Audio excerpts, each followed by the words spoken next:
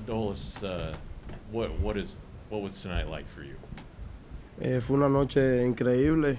Eh, he estado trabajando mucho y lo que ha pasado hoy es algo que no, no me lo esperaba y algo que me da mucha alegría. It was an incredible night for him. Uh, he um, didn't expect something like this to happen, but he's really blessed and thankful for it, and he's really uh, uh, thankful.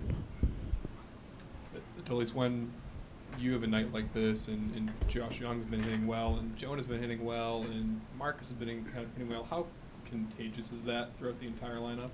Creo que eh, es bueno ¿no? que todos los muchachos estén haciendo el trabajo que están haciendo porque entre todos nos ayudamos a obtener buenos picheos y buenos turnos y creo que es algo que nos ayuda a todos a tener buenos resultados en el juego. It's good to have you know all the guys hitting and, and everybody's you know hitting well and, and doing the things that they're supposed to be doing and working hard, and so the results are, are what we expect. So he's very um, appreciative. Dolis, what is going through your mind through each at bat? You know, you, you hit the home run in the first one, and then you hit another, and then you hit another. By the time you get to those fourth and fifth at bats, what are you, what are you even thinking? Creo que estaba pensando en tener un pegarle a una bola que estuviera donde yo la estaba buscando.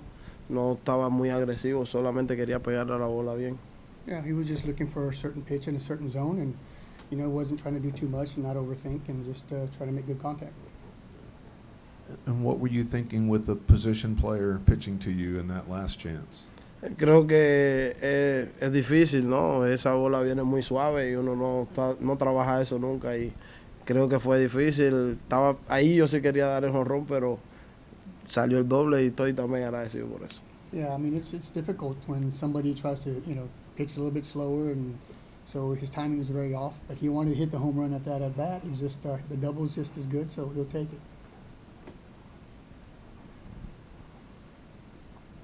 Adolis, in uh, your career or the time you've been playing baseball, have you ever hit three home runs in one game? Sí, en, en AAA 2018 pegué tres jonrones en un juego.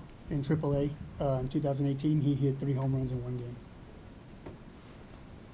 Y ocho RBI también. and eight RBIs as well. Anybody else? Kind of related to Kennedy's question, it's not often a guy gets a chance in the big leagues to hit four homers in a game. You got to do it twice. It, it, do you spend extra time keeping that out of your mind? How do you approach that?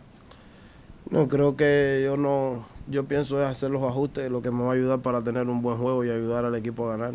Creo que lo demás va- viene solo y es algo que uno no tiene en mente.